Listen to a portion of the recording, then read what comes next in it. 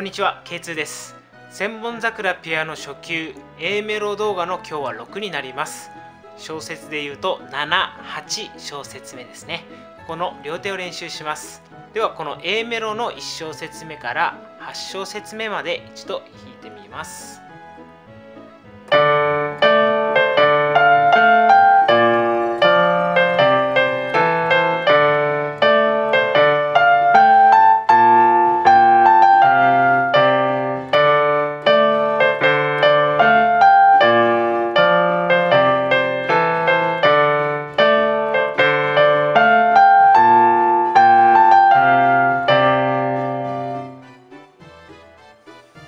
早速説明していきます。ここのですね、7、8小節目はですね、実はこの A メロの3、4小節とですね、すごく似てます。ほとんど一緒ですかね。まず右手ですね、2番でレを2回ですね。はい、次1番でドを2回です。はい、次2、3、4でレファそうですね。はい。次、5番でラです。はい。次に4、5、4でソーラーソですね。はい。次、3番、2番でファーレといきます。はい、このような感じですね。では今度左手ですね。左手はもうこの A メロの3、4小節と全く一緒です。一回弾いてみますね。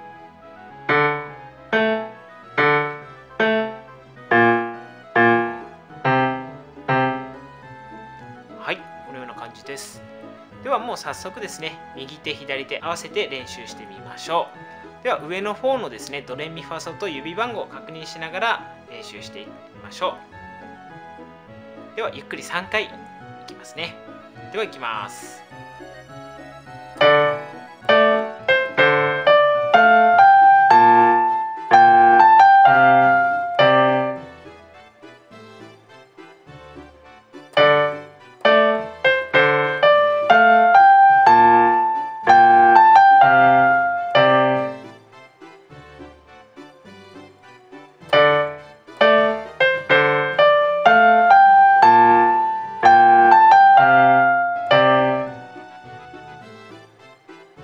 でしたかね？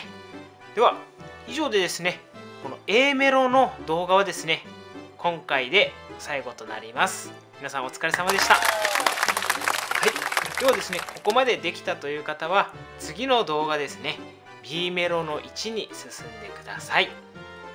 では最後に、この千本桜の前奏、そして A メロの今日やったこの8小節目まで両手で弾いて終わります。弾けるという人は一緒に弾いてみてください。